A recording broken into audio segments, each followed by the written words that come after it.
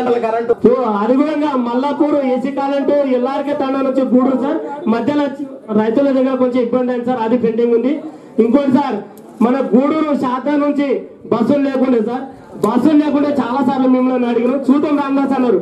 అయితే గ్రామ సభ ఆ రోజు గ్రామ సభలో మాట్లాడితే మా ఊర్లోనే ఇప్పటికీ ఉన్నారు పెద్ద మనుషులు. షాదర్కి వెళ్ళి నువ్వు గూడూరు బస్ చేస్తావు అన్నారు. నేను నమ్మకం మీ మీద నమ్మకం పెట్టి నేను ఎట్టి పరిస్థితుల్లో మళ్ళా గ్రామ సభ మీటింగ్ లోపల నేను బస్సు తెప్పిస్తా అని చెప్పిన మాట ఇచ్చిన. తెప్పిస్తావా అని అడిగిరు ఖచ్చితంగా తెప్పిస్తాను. సార్ మీ ఆశీర్వాదంతో బస్సు తెప్పించాం సార్. బస్సు తెప్పించాం. ఇప్పుడు వారం రోజులు పదిహేను రోజులు ఉంది బస్సు రావట్లేదు సార్. అది కూడా కొంచెం చూడండి సార్. ఇంకోటి అదేవిధంగా రెండు వేల పదమూడు రెండు వేల పదమూడు మా ఎలక్షన్ అయినప్పుడు మనకు పింఛన్ సార్. రెండు వందల ఇరవై పింఛన్లు ఉండే. ఇప్పుడు మనకు రెండు వేల పద్దెనిమిది మనకు నాలుగు వందల మూడు వందల నలభై తొమ్మిది పింఛన్ సార్. రేషన్ కార్డులు రెండు వేల పదమూడులో మనకు రెండు వేల పదమూడులో ఆరు వందల తొంభై ఒకటి ఉండే. రెండు వేల పద్దెనిమిదిలో ఏడు వందల ఎనభై ఏడు పింఛన్ రేషన్ కార్డులు సార్. మళ్ళీ ఇంకోటి ఇప్పుడు రైతుల రైతులు రైతులు సార్ తొమ్మిది వందల నలభై ఆరు సార్. చెక్కులు తొమ్మిది వందల నలభై ఆరు సార్. మళ్ళీ రైతుల పా- రైతుల అమౌంట్ సార్ వచ్చే రైతులకు తొమ్మిది వందల నలభై ఆరు అమౌంట్ సార్ అరవై ఐదు లక్షల పద్దె పద్దెనిమిది ఎనభై ఒక వెయ్యి చిల్లర సార్. ఇంకోటి పట్ట పాస్బుక్లు సార్ ఆరు వందల ముప్పై రెండు. మళ్ళీ ఇంకోటి సార్ విస్తరణము రెండు వేల రెండు వందల అరవై మూడు ఎకరాలు సార్. మొత్తము సర్వే నెంబర్ సార్ ఐదు వందల పదిహేడు. సార్ మొత్తము గూడూరు గ్రామ పంచాయతీ బోర్లు సార్ ఐదు వందల డెబ్బై మూడు రైతులకు సార్. ఇంత కాలమైన సార్ మీ ఆశీర్వాదం సార్. చాలా మిమ్మల్ని ఎప్పుడు వెళ్ళవల మర్చిపోను మర్చిపోం సార్. చాలా బాగుంది ఇప్పుడు ఇప్పుడు కూడా సీసీ రోడ్ రెడ్డిపురం కూడా మాకు తెలియదు సార్. తర్వాత తెలిసింది పదిహేను లక్షలు మీరు ఇచ్చారు సార్. అది కూడా ధన్యవాదాలు సార్ మాకు తెలియదు. అది కూడా మళ్ళీ సీసీ రోడ్లు ఇచ్చారు సార్. మళ్ళీ మొన్న కూడా రిజల్ట్ గారు రాసిరంట సార్.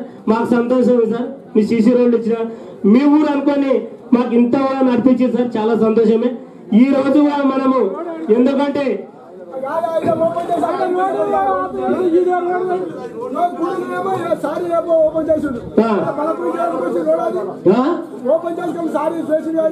అవును సార్ చేసిండా? సార్ కూడా చాలా మాట్లాడిన ఆ రోజు డిప్టీని పిలిపించుకొని కూడా గాయ గూడూరుకెళ్ళి మొదలు పెట్టుకొని చెప్పిండు. అయితే ఆ విషయం కూడా చెప్తా. అయితే ఎస్టీ సభలలో వచ్చింది ఈ రోడ్డు ఎస్టీ తండ్రి కవర్ కావాలని చెప్పి. ఎమ్మెల్యే సారే డిప్టీ తోటి మాట్లాడి ఈ గారితో మాట్లాడి మనం గూడూరు ఖచ్చితంగా కావాలని సార్ పెట్టించింది అది పెట్టించిన తర్వాత రైతులు సహకరించాలా లేదా? ఎవరు చేయాలి? మనం సహకరించాలి. మనం సార్ పెట్టి సార్ తప్ప మనం తప్పది ఎవరు ఒప్పిస్తారు? నేను ఇప్పటికే చాలా మంది అన్న. రైతులు ఒప్పియాలి? మళ్ళీ ఇప్పుడు చెప్పిస్తా. సార్ ముందలంట రైతులను పిలిపిండి. ఇట్లా కాక అడుగుతా.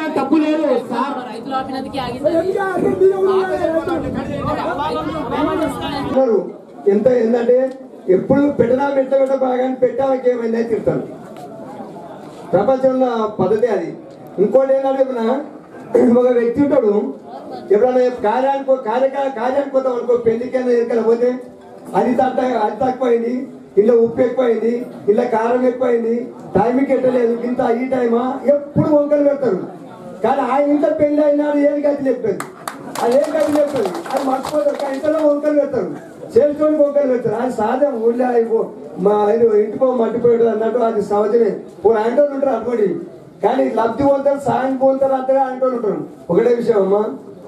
తెలంగాణ రాష్ట్రం వచ్చిన తర్వాత మీ తాన రెండు వందల డెబ్బై ఒకటి ఉంటే కేసు రెండు వందల?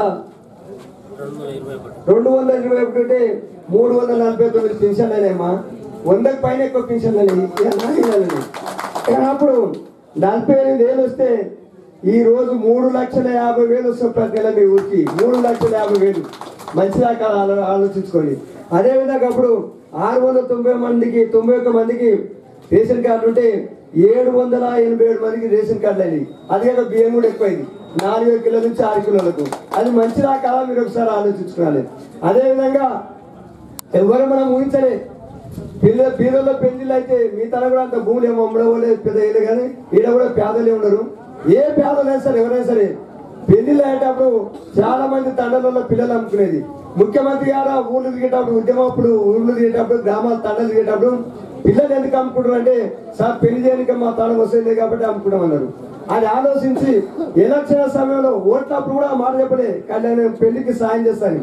కానీ తర్వాత ఎలక్షన్ అయిన తర్వాత అధికారంలో వచ్చినప్పుడు అధికారంలోకి వచ్చిన తర్వాత మేము ఊరు నుంచి కళ్యాణ లక్ష్మి షాది ముబారక్ అని పేరు పెట్టి ఆ పథకం పేరు పెట్టి పద్దెనిమిది ఏళ్ళు నిన్న అమ్మాయికి ఎస్సీ ఎస్టీలు మైనార్టీలు పెళ్ళి చేస్తే యాభై ఒక్క వేలు ఇచ్చిండు. తర్వాత డెబ్బై ఐదు వేలు చేసిండు. బీసీలో కూడా కలిపాడు ఇప్పుడు అన్ని కులాలకు ఇస్తాడు పేదలకు ఈ కులం ఆ కులం అనేది ఏ కులమైనా సరే పెన్షన్స్ కానీ బియ్యాలు కానీ కళ్యాణ లక్ష్మి కానీ కులం అని లేదు. అన్ని కులాలకు పేదలకు ఇస్తారు. మీరు అర్థం చేసుకోవాలి? ఒక పెళ్ళికి వివాహం అయితే లక్ష నూట పది రూపాయలు ఇస్తారు ఇప్పటి నుంచి. ఆ లక్ష రూపాయలు ఇస్తే ఆసన నాకాల మీరు అర్థం చేసుకోండి. కొద్ది ఆసనే కదా? అదే కాకుండా మీరు అర్థం మీరు ఒకసారి జ్ఞాపకం చేసుకోవాలి. గర్భవతి అయితే మంచి కోడిగుడ్లు ఇస్తారు మంచి ఆహారం ఇస్తారు. ఇస్తారా లేదా? గర్భవతి గర్భవతి ఉన్నప్పుడు తొమ్మిది నెలల సందులు కూడా తొమ్మిది నెలల సంద సందు కూడా సో తొమ్మిది నెలలు ఉంటాయి కదా? గర్భవతి అయినప్పుడు అప్పుడు ఆ ఇంట్లో కార్యక్రమం బావడ కార్యక్రమం పనులు చేసి వచ్చేది. ప్రసవించిన పదిహేను రోజులు కూడా ఈ బావడ పనులు పనుల కోతమా లేదా మనం ఎప్పుడు. ఇంకో పేదలు అయితే కూళ్ళకు కూడా పోతారు. కానీ అట్లా కూళ్ళకు పనులకు పోతే ఎండలు కానీ ఇదే కానీ ఇబ్బంది అవుతుంది పాలు సరిగ్గా రావని పిల్లలు బాగా మంచి పిల్లలు బాగా అభివృద్ధి చెందరు. మంచి ఆరోగ్యంగా ఉండాలని ఉద్దేశంతో ఆయన ఏం చేశాడంటే పన్నెండు వేల రూపాయలు ఇస్తాడు అది ఇస్తాడా ఇస్తాడా అది మూడు కిస్తులు. నాలుగు నాలుగు వేల ఎంత మొత్తం పన్నెండు వేలు. ఆరు వేలు కొడితే ఒక వెయ్యి పదమూడు వేలు ఇస్తాడు ఆ ప్రసవించిన రోజు హాస్పిటల్ హాస్పిటల్లో కేసీఆర్ కిట్ ఇస్తాడు కేసీఆర్ కిట్ అంటే ఏంటంటే ధనవంతులు లక్షాధికారులు కోటీశ్వరులు ఏ సబ్బు వాడతారో మనం ఆ సబ్బు వాడాలి. అది ఏ నూనె అయితే వాడతారో ధనవంతులు అదే నూనె మన పిల్లలు వాడాలి. అదే తువాల వాడాలి. అన్ని వస్తువులు అవే వాడాలి. కాబట్టి అటువంటి కార్యక్రమం ఎప్పుడైనా చేసినారా అది మీరు ఆలోచించుకున్నారు అది జ్ఞాపకం ఉంచుకోవాలి. పెట్టినోడికి అన్నం పెట్టినోడిని దీవించాలి. కాబట్టి అదే విధంగా మీకు రాను రాను ముందు ముందు ఎన్నో అట్లా ప్రసవిస్తే కేసీఆర్ కింద కాకుండా ఇంతకుముందు గర్భవతులు అయితే కూడా వాళ్ళకు వెహికల్ పెట్టాడు ఇబ్బంది కాకుండా తీసుకుపోయి మళ్ళీ హాస్పిటల్ టెస్ట్ చేసి మళ్ళీ పంపేటట్టు అదే విధంగా ఇంత గతంలో మనము ఉస్మాన్ ఎవరో వీళ్ళ యొక్క మందాయి సస్సులో యాక్సిడెంట్ సస్సులో ఉస్మాన్ చేస్తే పోస్ట్ మార్టం చేసిన తర్వాత ఆ బతి గది లేక ఇబ్బంది కాక పేదలకు అదేందో అంబులెన్స్ దొరికితే నానా ఇబ్బందులు ఉండరు. కానీ ఇప్పుడు గవర్నమెంటే ఉస్మానియా హాస్పిటల్ చచ్చిపోయినందుకు ఆ శవాన్ని ఇంటికాడ చేస్తారు మరి ఆలోచింత ముందుకు వచ్చింది ఎవరికైనా? అది రాలేదు. అది కాకుండా అమ్మా మున్ముందు కూడా మీరు ఆడపిల్లలు పొద్దుదాకా కష్టం చేసి వచ్చి పొద్దుమికి నీళ్ళ కొరకు బాధలకు బోట కాడ కొట్టాల కూడా పంచాలు పెట్టుకోవడానికి మంచి ఇంటింటికి నల్ల కనెక్షన్ ఇచ్చి నల్ల కనెక్షన్ ఇచ్చి మంచిలు దాపాలనే ఉద్దేశంతో గౌరవ ముఖ్యమంత్రిగా సంకల్పంతో ఉంది కాబట్టి మీరు కూడా రోడ్ల పడి పైపులు పడుతుంది మీరు చూస్తున్నారు. చాలా మంది రోడ్ పైపులు చూసి రాలేదా? రోడ్డు పైపులు పడుతున్నాయి కదా. పడుతున్నాయి. ఆ నీళ్ళు ఎటువంటి అంటే ఇప్పుడు పది రూపాయలు పదిహేను రూపాయలు ఇచ్చి మినరల్ వాటర్ డబ్బా కొంటారు కదా మీరు. డబ్బా కొని తాగుతారు కదా. ఆ నీళ్ళు కూడా మంచి కావు అన్న కెమికల్స్ కలుపుతారు. కెమికల్స్ కలిపితే మన బొక్కలు ఖరాబ్ అవుతాయి. ఆ అటువంటి నీళ్ళుగా మంచి నీళ్ళు మన కమ్మదానం కమలాలు మన పేరున్నారా కమ్మదానంలో మంచి ఫిల్టర్ అవుతాయి మంచి ఆరోగ్యకరమైన నీళ్ళు ఇస్తారు మంచి నీళ్ళు ఇస్తారు. నీళ్ళు సరిపోయిస్తారు కాబట్టి ఆ కార్యక్రమం కూడా ముఖ్యమంత్రి చేపడుతున్నారు. అడవులకు ఇబ్బంది కాకుండా అని అర్థం చేసుకున్నాను. అదేవిధంగా ఇక మీ ఊళ్ళకి ఎన్ని అభివృద్ధి అయిందో మన సర్పంచ్ గారు ఎన్ని చేసాం చెప్పాడు. ఇంకా ఏమున్నా చేస్తాం. చెల్లించడం అన్ని ఏది కావాలంటే ఇచ్చినాం. ఇంకా కావాల్సి ఇస్తాం. మీ ఊరికి ఏది కావాల్సి మీ గతంలో ఇప్పుడు ఎన్ని ధర మీరు ఒకసారి ఆలోచించుకొని దాని గతంలో కన్నా ఎన్నో రెట్లు ఎన్నో రెట్లు గొప్పలు జరిగి కాబట్టి మీరు ఏది కోరుకున్నా మీ సమస్యలు తీర్చే ప్రయత్నం మేము చేస్తాం? అదేవిధంగా ముఖ్యంగా అన్నిటికన్నా పెద్దది ఏంటంటే ఈ భూముల సమస్యలు ఎక్కువటాయమ్మా వాడు గుంట భూమి ఉన్నా ఎక్కడ భూమి ఉన్నా అర్ధ ఎక్కడ భూమి ఉన్నా పొద్దులేసి ఆ ఊరు నా దాంట్లోకి వచ్చి నా వరం అన్నారిక నా దాంట్లో వాడు వరకు దున్నినాడు దున్నినట్టు నా దానికి దున్నుకుంది అంటాడు. ఇవే పంచాలు కొట్లాట పోలీస్ స్టేషన్లు. ఆ భూముల కొరకు తండ్రి చచ్చిపోతే ఏమైనా కొంటే ఎంఆర్ఓ చుట్టూ తిరిగి తిరిగి ఆల్చబడేది కాబట్టి కొంతమంది అయితే భూములలో కేసులు వేసి కోర్టులో కేసులు వేసి తండ్రులు చచ్చిపోయారు పిల్లలు చచ్చిపోయారు మనల్ని కూడా కేసులు తిరుగుతున్నాడు. ఎప్పుడు కిరికిరే. భూముల పంచాలే ఉంటాయి. భూముల నుంచే ఇబ్బంది. ఒక ఏ పేరు తప్పకూడదని ఎంఆర్ఓ ఆఫీసు తిరిగి తిరిగి ఆశపడి. ఆ విధంగా కావడదు ఇబ్బంది పడకూడదని ఉద్దేశంతో ముఖ్యమంత్రి గారు భూ రికార్డుల ప్రక్షాళన చేపట్టాడు. దానికి రెవెన్యూ సిబ్బంది కూడా బాగా తిప్పడబడరు ఇప్పుడు పాస్బుక్లు ఇస్తారు ఒక పాస్బుక్ కావాలంటే ఎన్నిసార్లు మీకు అంత అర్థం ఉండదు. పాస్బుక్ తిప్పలేరు మీ ఇంటికి వస్తారు మీ ఇంటికి వచ్చి ఇస్తారు ఇవాళ ఇప్పుడు ఇస్తారు అదేవిధంగా మన ఇంటింటికి వచ్చి మూడు భూమికి ఇంత ఉండాలి దీనికన్నా ఎక్కువ రా మీకు తక్కువ అడిగినా ఇందాలకు వచ్చినా లేదా? రెవెన్యూ వాళ్ళు. మరి ఆ కార్యక్రమం ఇంతవరకు అని చెప్పించి చెప్పండి రా ఇక ముందు ముందు ఈ సమస్యలు ఉండే భూములై. ఏ కార్యాలయ శుద్ధి కావాల్సిన లేదు. ఏ రిజిస్ట్రేషన్ రిజిస్ట్రేషన్ పోయి పసిలు పెట్టే అవసరం లేదు. ఏది నా ఎంఆర్ఓ కార్యాలయాలకు పోయి మా పేరు అమలు చేయమని ఆలోచన చేసే ప్రయత్నం చేసే అవసరం లేకది ఎక్కడ తిరిగి ఆ ఇబ్బంది లేకది మనం సుఖంగా ఉంటామని ఆ మంచిదా కాదు చెప్పాలి. మనం ఎంత సుఖంగా ఉంటే మంచిగా కాబట్టి అటువంటి మంచి గొప్ప కార్యక్రమం మంచి కార్యక్రమం రైతులకు మేలైన కార్యక్రమం ముఖ్యమంత్రి గారు చేసి కాబట్టి నిజంగా మనం ధన్యులము. ఆయన కృతజ్ఞత భావంతో ఉండాలి. దాంతో కరెంటు ఎవరంటే తెలంగాణ వస్తే సీకట్ అయితే అన్నారు. అప్పుడు ముఖ్యమంత్రి తెలంగాణ సీకట్ అయితే తెలంగాణ ఏముంటది? దండగా రాగమైపోతారు తెలంగాణను పరిపాలిస్తున్న శక్తి లేదు మిగతా ఆ తెలివే అన్నారు. ఇదే ముఖ్యమంత్రి తెలివి పరిపాలన చూసి అందరూ ఆశ్చర్యపోతున్నారు. వాళ్ళు కూడా మన కేసీఆర్ ముఖ్యమంత్రి గారు కాళ్ళు కాలుతున్నారు పాలతుడు అక్కడ గుంటూరు విజయవాడ కూడా.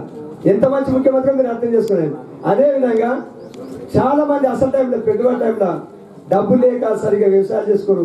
ఈ రోజు వాళ్ళు ఇంత ముందు గుట్కలుండే నాలుండే కానీ ఇప్పుడు టాటాల కిరాయి కట్టాలి ఇథనాలు కొనాలి ఎరుసాసులు కొనాలి నానా ఇబ్బందులు ఉంటాయని కనీసం ఒక ఎకరకు నాలుగు వెలిస్తే వాళ్ళు కొన్ని పెట్టుబడి పెట్టుకొని వాళ్ళు పంటలు పండిస్తున్నారు పండించుకునే ఉద్దేశంతో గవర్నమెంట్ ప్రభుత్వం కేసీఆర్ గారు ఎకరకు నాలుగు వేలు ఇస్తున్నామ్మా ఐదు ఐదు ఎకరాలు అంటే ఇరవై వేలు వచ్చాయి. రెండు ఎకరాలు అంటే ఎనిమిది వేలు వచ్చాయి. పది ఎకరాలు అంటే నలభై వేలు వచ్చాయి. ఆ? కొంతమంది స్త్రీలు చాతగాను పెద్ద మనుషు భూములు ఉన్నారు ఇంట్లోంటే ఏమమ్మా మీకు పైసలు వస్తున్నాయి ఆ వస్తున్నాయి అయ్యా అరవై వేలు వస్తున్నాయి. మరి ఇంతకుముందు ఏమొచ్చారంటే మేము కాలు తీస్తే పంట పంట లేదని ఎగ్గొట్టేదా వాళ్ళు ఎండిపోయినాయని. కానీ మా ఇంట్లో కృషి వస్తున్నాయి కేసీఆర్ మా కన్నతల్లి లేక మంచి చేసాడు మా అంటారు అంత మంచి పని చేస్తాం అటువంటి మంచి గవర్నమెంట్ ఉన్నప్పుడు అంత మంచి మన ముఖ్యమంత్రి ఉన్నప్పుడు మన భారతదేశంలో భారతదేశంలో ఇన్ని సంక్షేమ కార్యక్రమాలు ప్రజలకు చేసిన రాష్ట్రం ఏ రాష్ట్రం లేదు. ఈ మన ముఖ్యమంత్రిని చూసి మన వేరే రాష్ట్రాలు కూడా మెచ్చుకుంటే ఈయన చేసే పనులు ఆలు చేయాలని మిషన్ కాకతే చెరువు. ఎప్పుడన్నా ఒక గండి పడితే తుమ్మిపోతే చెరువు మందులు ఏమంటే నానా ఇబ్బందులు ఉన్నది ఇప్పుడు ఎన్ని చెట్లు మనం మంచిగా చూసి కదా మీరు చూస్తారు కదా? ఇంకేం కావాలి మీకు? అన్ని పనులు అవుతున్నాయి.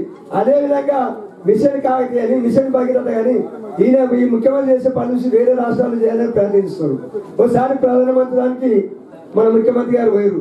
ప్రధానమంత్రి నరేంద్ర మోడీ ఉన్నారు కదమ్మా ఆయన దానికి పోయారు ఆయన మా ప్రధానమంత్రి ఏమని అంటే ముఖ్యమంత్రి గారు మీరు ఎక్కడికి నాలుగు వేలు ఇస్తాడు? నిజమే నా పెట్టుబడికి అనేది ఇస్తాం సార్.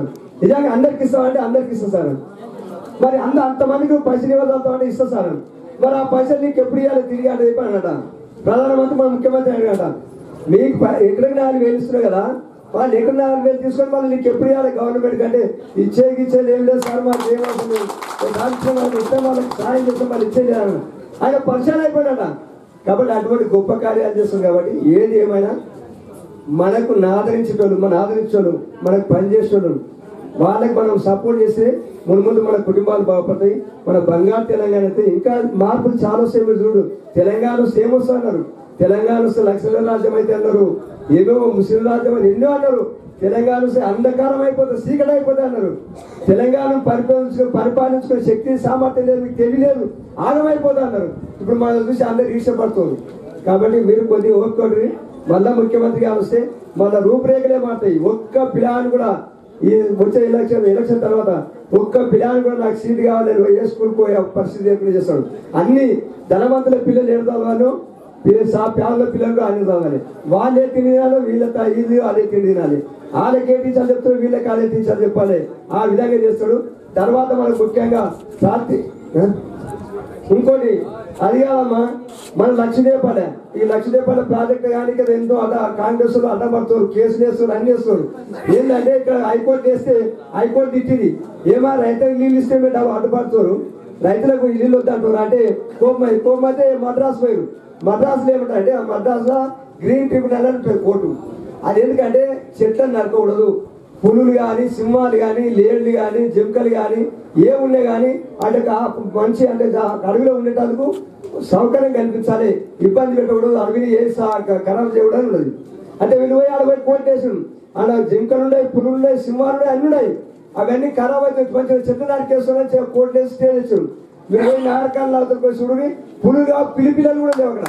ఇంకే ఉన్నది ఇట్లా ఇలా చెత్త అంతకని కొలాసం ఉన్నది. దాంట్లో ఏంటంటే ఇది అని తప్పకుండా వీళ్ళు ఉంటే అది కూడా చేస్తారు ఆ కార్యక్రమాలు చేస్తారు. అప్పుడు గుంట గుంటకు అంతే ఎకర నీళ్ళు వస్తాయి. అంతా సంతోషంగా బతుకుతాం. అందరి కుటుంబాలు బాగుపడతాయి. ఓని ఆశించకుండా ఓని పెట్టే పరిస్థితి వస్తాయి కాబట్టి చూస్తున్నాయని వస్తాయి అది మీరు గమనించాలని అటువంటి ముఖ్యమంత్రికి మీరు సహకరించాలని కోరుతూ సెలవిస్తున్నాను.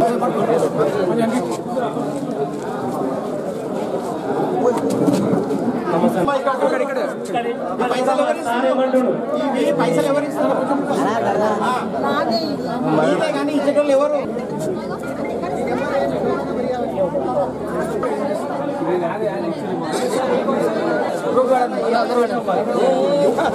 గారు ఎమ్మెల్యే గారికి సన్మానం చేస్తున్నారు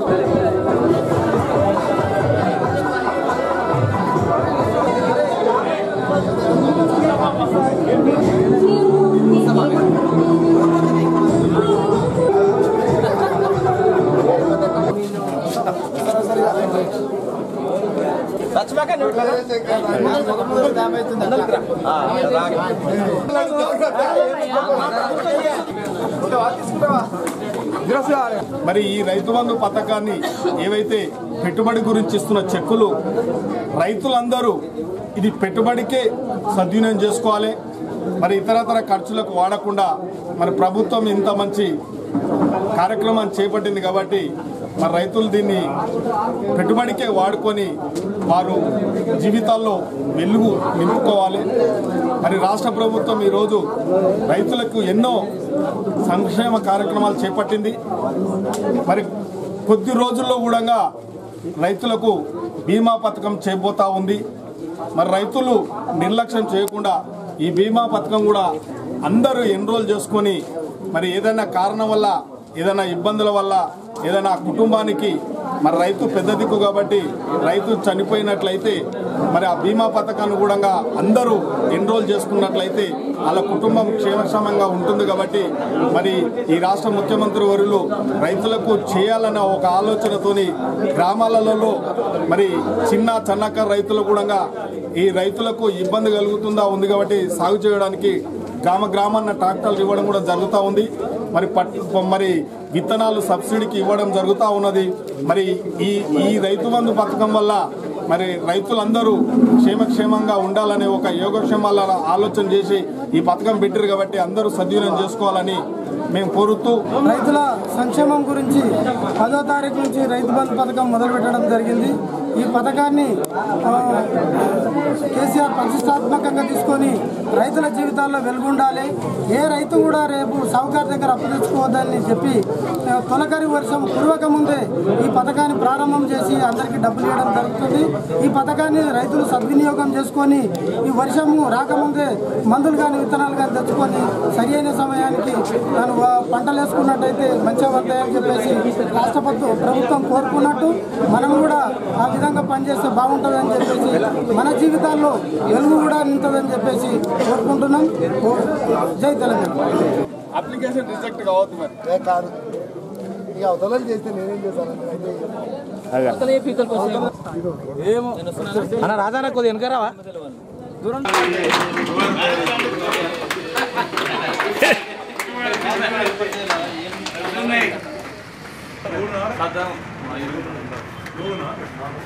ಅಮ್ಮ ಸದಾ ಮೂರು ರೋಜಾ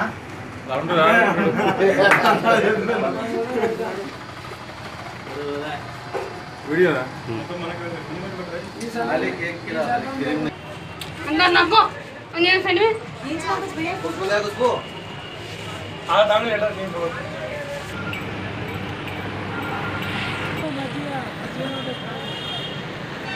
स्वतंत्र तरफ़ से आज गुरुवार के दिन है चार किस्म का कार्यक्रम हो रहा है।